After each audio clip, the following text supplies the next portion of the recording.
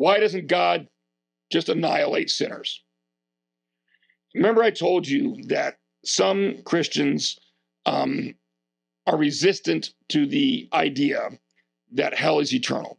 And so, what they will argue is that people, we, okay, we get God needs to punish sin. So, what we think hell is, is that they will get punished for a certain period of time. And then they, are not going to get into heaven. They, they can't get into heaven, but they will just cease to exist. They'll be annihilated. All right. Now, there are different views of annihilationism. That's kind of the purest version. There are some people that just say, well, it's really more of a naturalist view that um, that we, we're all basically mortal, and so whether you're a believer or not, you just you cease to exist at death. Again, that's not really a Christian view. That's a naturalist view.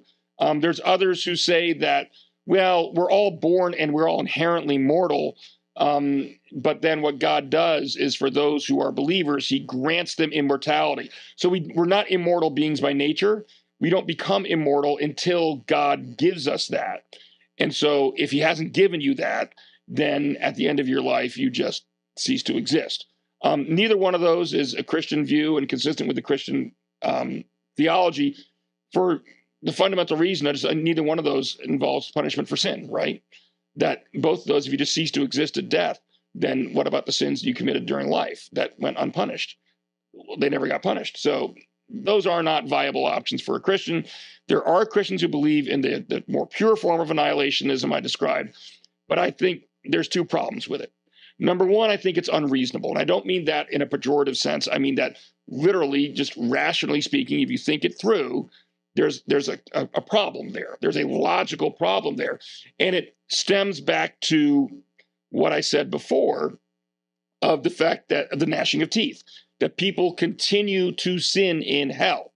Well, if people continue to sin in hell, then and they keep racking up this proverbial debt, so to speak, then let me just ask you a very simple question. When exactly is the right time to annihilate them? When when do you reach that point when they have paid the price for all their sins and can therefore be annihilated while God's justice is still satisfied. It never happens. You never get there because they're continuing to sin. They're continuing to gnash their teeth at God.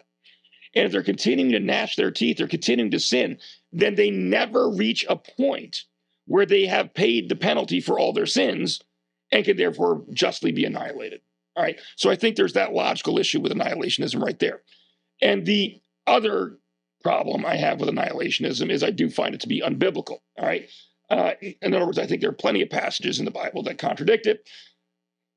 I mean, we've already seen some tonight where that describe hell as being eternal, the fire of hell being eternal. A lot of scriptures decide, uh, describe people's punishment in hell as being never ending. Um, Isaiah 66 24 is another one. Mark 9 43 is one. I, I don't have those on the screens because the one I have on the screen, I think, is just absolutely definitive.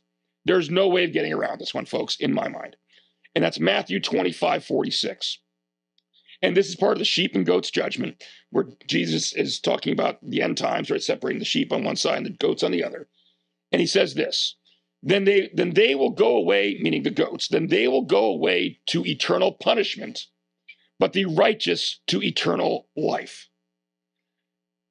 That the word in Greek that is being used and translated here as eternal is the same in the, both times it is used in this verse. The exact same Greek word is used to say some will go to eternal punishment and others will go to eternal life. If the life is eternal, as I think we all agree it is, heaven is eternal, then the punishment, logically speaking, biblically speaking, must also be eternal. They are described literally the exact same way. To try to support annihilationism, you have to look at this verse and say that even though the exact same word is used to describe both states, that they mean different things. One is really eternal and one is not. And I don't think that can be biblically supported.